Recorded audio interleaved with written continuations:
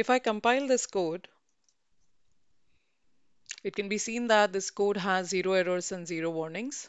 Now let me make some changes. Let's say on this line, I'm removing the semicolon. After making this change, we need to save the code and compile it.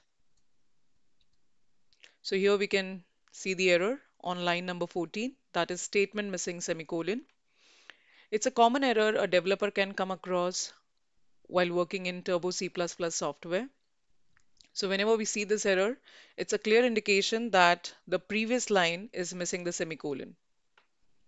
So if I press enter, we can see that on this line, the semicolon is missing.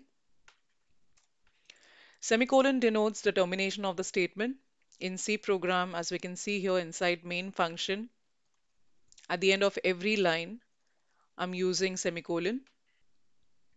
So to avoid the error statement missing semicolon, we have to make sure that every statement is ending with the semicolon. Now let's compile the code. And we can see now there are no errors, no warnings. Thank you.